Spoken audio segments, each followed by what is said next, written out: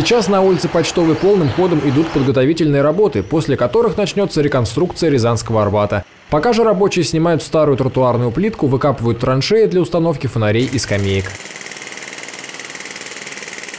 Как вы считаете, вот вы как житель города, что должно здесь быть э, ну, в плане благоустройства? Ну, я думаю, что здесь должна быть пешеходная улица. То есть чисто для пешеходов. Кафе, там, магазины всякие развлекательные, там, учреждения.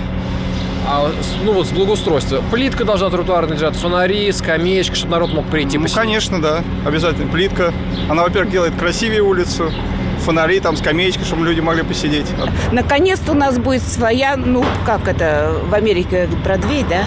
А у нас будет своя пешеходная замечательная улица. По задумке организаторов проекта, улица Почтовая после ремонта должна стать не просто пешеходной зоной, а именно визитной карточкой областного центра. Здесь будут собираться и отдыхать горожане и туристы. Самый лучший, наверное, и самый уже опробованный во всем мире вариант – это пешеходная зона, которая превращается в такой интерактив.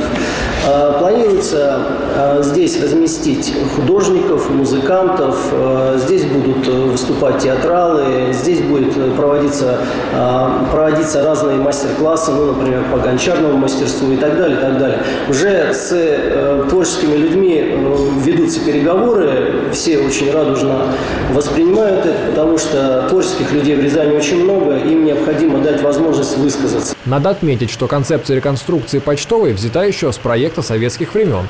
Новый же проект благоустройства разработан в апреле 2014 года. Выполнение всех работ в этом году, как обещают чиновники городской администрации, будут финансироваться за счет привлеченных внебюджетных средств. Мы приняли решение о том, что все-таки в 2014 году, в весенний-летний период, до Дня города, мы постараемся улицу привести в порядок за счет бюджетных источников. И, как вы сами видите, работы на улице уже начались, и первое финансирование уже э, пошло за счет, еще раз повторюсь, за счет внебюджетных источников финансирования. То есть привлекается исключительно частные средства.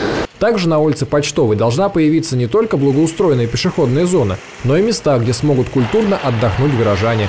Так планируется, что здесь разместятся музей фотографий и музей путешественников, а также центр современного творчества, в котором будут выставочные и концертные залы.